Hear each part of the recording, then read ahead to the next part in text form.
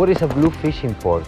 Well, the, the definition took us some time, and uh, you know it was defined by all the participants of the uh, Blue Fishing Ports initiative.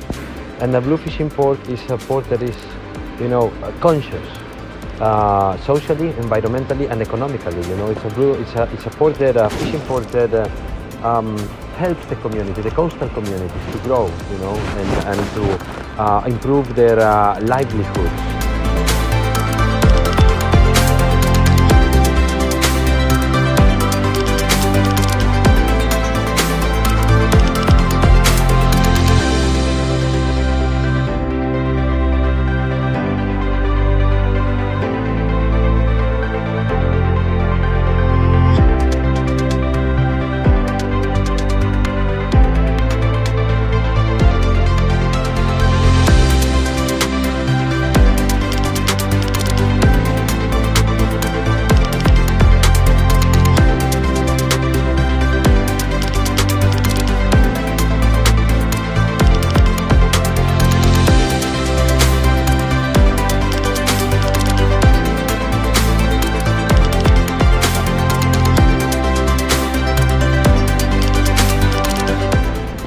When did this uh, initiative appear? Well, it was uh, back in 2019 when we first started uh, talking about this initiative, and uh, we knew that um, the other international organizations that we had spoken to, they were working with um, specifically with um, uh, commercial ports, but they didn't work with uh, fishing ports, and those fishing ports were not benefiting from the, you know, projects that were being developed and, uh, carried out in these uh, commercial ports.